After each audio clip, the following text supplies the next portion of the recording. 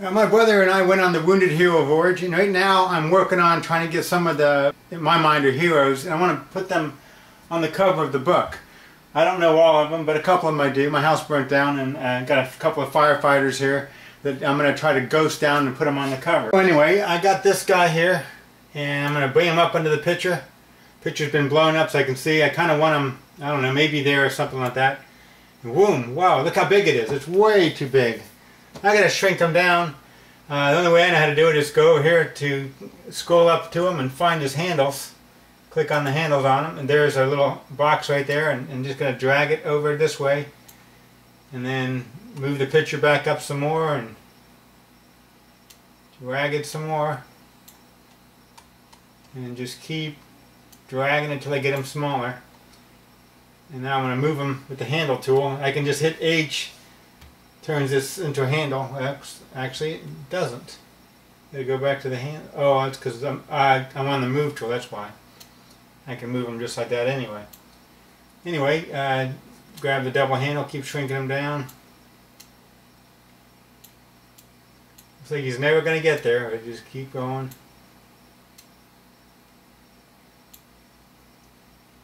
I got to get rid of this. I'm going to kind of make them into like a ghost because uh, there's the Wounded Hero Voyage. There's only two people on the trip, me and my brother.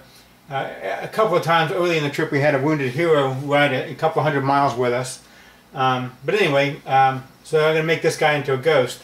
So the first thing I'm going to do is I'm going to try to get rid of this white. I've already uh, cut him out and, and put him on this back sheet of white paper. Uh, but for this picture I got to, um, for storage I had him that way. Now I'm going to put him on the boat. So I come over here to this eraser tool here click on that and it says something about applying. I guess I got to apply the size of it first. Hit OK, apply. Same thing as the green check mark. And I got the eraser tool out here. I'm going to click on the white background. It's going to get rid of all the white continuously around it. Uh, well, it didn't get rid of down here because it's not continuous. It's broken up by his arm. So I get that and this here. Uh, I don't know if that's right there any white or not. I think it might be something showing up on the boat. So I'm going to move him to make sure. Nope, that's white on him. So come back to the eraser tool. And this is good while I, I didn't shrink it down too much. Oops, made a mistake. Hit the wrong color. Control Z to get it back. Actually a little bit down here in the corner. Well, actually I can't even see that. I'm going to go ahead and, and blow them up a little bit so that I can um, I can see them better.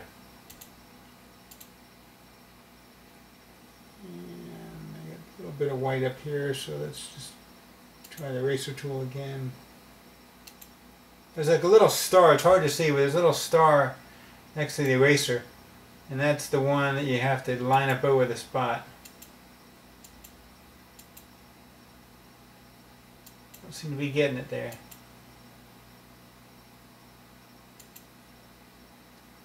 I got rid of something. What was that?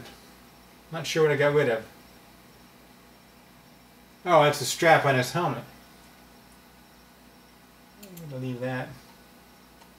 Can't seem to get it. Try this little bit here. I got that. Something on his hand. That might be the... Yep, I got that. And now I'm only working there's one picture, so it, it it's only...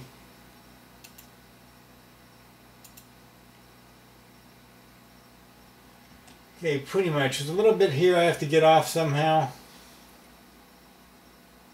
Let's blow it up some more, maybe that make it easier. I hit the Z, click, click, mouse to move it over, the hand to move it over, I'm sorry about that. Back to the tool, and I don't know why I can't get the rest of that off of there. Not coming off. Anyway, I have no clue why. So let's finish shrinking this guy down back to the hand tools, come back up here and shrink them down some more. By the way, that ice was pretty cold around there. Let's shrink the whole picture down some. Uh, let's find it, uh, where is it to shrink the size to fit. Apply, yeah I'm applying. I don't know why I gotta apply all the time. I'm trying to find the button to, so that it shrinks to fit. guess it's under the zoom tool. It is under the zoom, shrink to fit screen, fill screen. I want to shrink it to fit the screen. I kind of see how he is. Now I'm just going to blow him up a little bit. I can see him to work on him better. Uh, put the handles on him, move him up. He's still a little too big, so I'll shrink him back down. You can't even see those couple little tiny spots I was trying to get off of there. Now I gotta find a place. I don't have any legs for him. He wasn't in the picture. If I'm gonna use him with legs, I gotta Photoshop some legs on him, and I might do that. But for now, let me see if I can find a place to stick him. It won't look so bad. Like he might be behind something. That's my brother Ralph driving. I'm on a surfboard right now.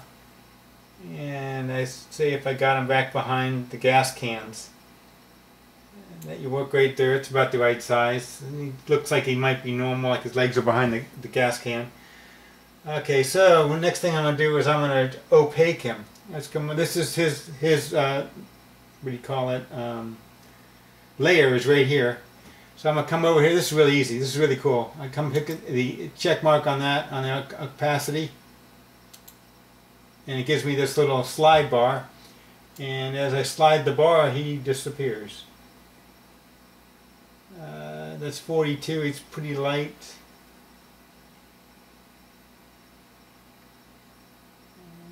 Fifty percent. Let's see how that looks. Off there. You can kind of see he's there. I don't know if he really looks like a ghost or not, but uh, we'll leave him there for now and do the rest of them.